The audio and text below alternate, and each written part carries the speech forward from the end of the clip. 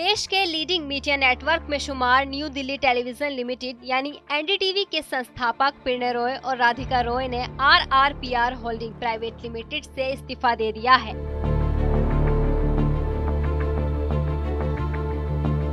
NDTV ने Bombay stock exchange को पिण्य रॉय और राधिका रॉय के इस्तीफे की जानकारी दी है।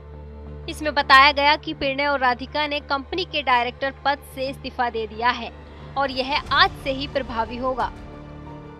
पिणय और राधिका के इस्तीफे के बाद संजय पुगलिया, सुदीप्ता भट्टाचार्य और सेंथिल सिनेया चेंगलवारियन को तत्काल प्रभाव से आरआरपीआर होल्डिंग प्राइवेट लिमिटेड में बोर्ड में डायरेक्टर नियुक्त किया गया है। अडानी ग्रुप ने सोमवार को एनडीटीवी में उनतीस दशमलव एक आठ प्रतिशत हिस्सा हासिल कर लिया था। एनडीटीवी की प्रमोटर कंपनी ने सोमवार को कहा था कि उसने अपनी इक्विटी पूंजी के निन्यानवे दशमलव आठ फ़ीसदी शेयरों को अडानी ग्रुप के स्वामित्व वाली वीसीपीएल को ट्रांसफ़र कर दिए हैं। इन शेयरों के ट्रांसफ़र से अडानी ग्रुप को एनडीटीवी में उनतीस दशमलव एक आठ फ़ीसदी हिस्सेदारी मिल जाएगी।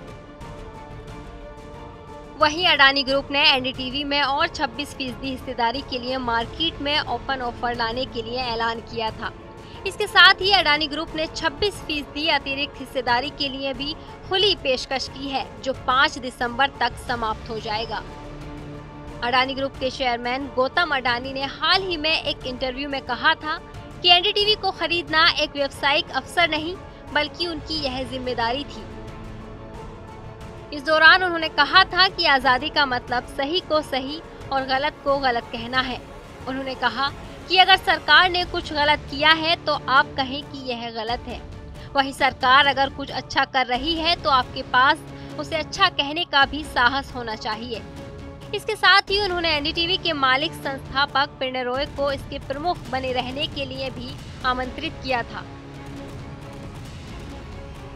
फ़िलहाल इस वीडियो में इतना ही। इस पर आपकी क्या राय है, हमें कमेंट सेक्शन में ज़रूर बताएँ। बाकी देश और दुनिया की तमाम बड़ी खबरों के लिए सब्सक्राइब करें हमारा चैनल टीवी नाइन डिजिटल।